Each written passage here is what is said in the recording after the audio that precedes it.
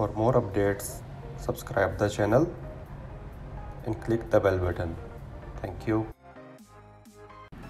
अस्सलाम वालेकुम आज मैं आप सबको बताऊँगा कि आपने पीडीएफ फाइल्स आई बुक में कैसे ट्रांसफ़र करनी है यानी अपने आईफोन में या आईपैड में कैसे ट्रांसफ़र करनी है तो उसके लिए आप आई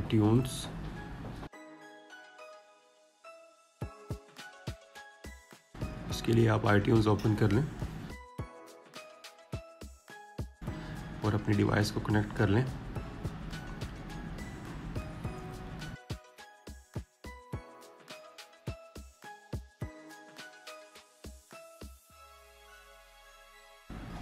Setup as a new iPad ये फ़र्स्ट टाइम आएगा आपको बस। सेकंड टाइम आप जब भी कनेक्ट करेंगे तो आपको ये मैसेज नहीं आएगा।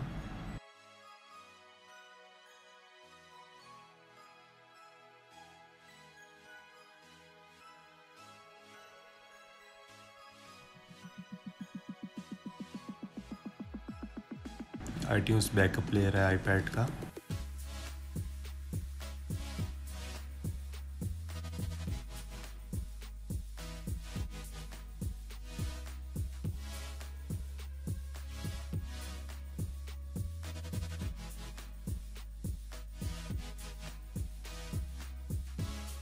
बुक्स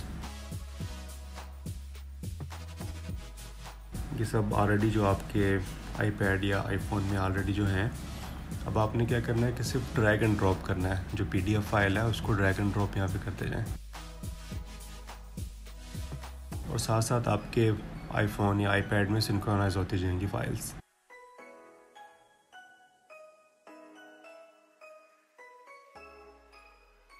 इसका ये तरीका था कि आपने कैसे पीडीएफ फाइल्स अपने अपने आईफोन में आपने कॉपी करनी है आई बुक के अंदर।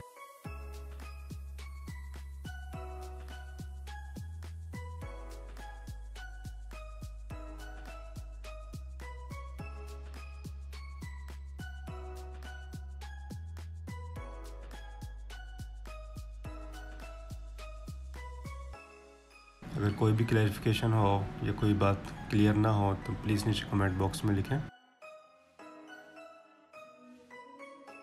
वीडियो अगर यूज़फुल लगी हो तो लाइक करें, अपने फ्रेंड्स के साथ शेयर करें। थैंक यू अल्लाह हाफिज़।